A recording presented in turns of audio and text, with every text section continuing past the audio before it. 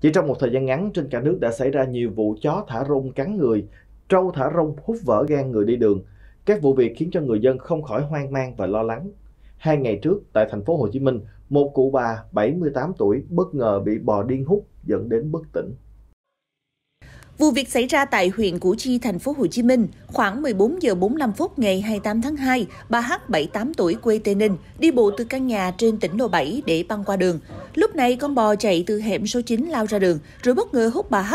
Cú hút mạnh khiến bà H té ngã, đập đầu xuống đường bất tỉnh. Người dân đưa nạn nhân vào bệnh viện cấp cứu trong tình trạng bị thương nặng. Trước khi hút bà H, con bò này xông vào một căn nhà khác, bị chủ nhà đuổi ra ngoài. Con bò hút chiếc võng làm bé trai 7 tháng tuổi, con của vợ chồng chủ nhà, đang ngủ trên võng rơi xuống nền nhà. Con bò này của một gia đình ngủ trên đường hẻm chính, vừa mới mua, bị tuột dây thừng nên chạy ra ngoài đường gây tai họa.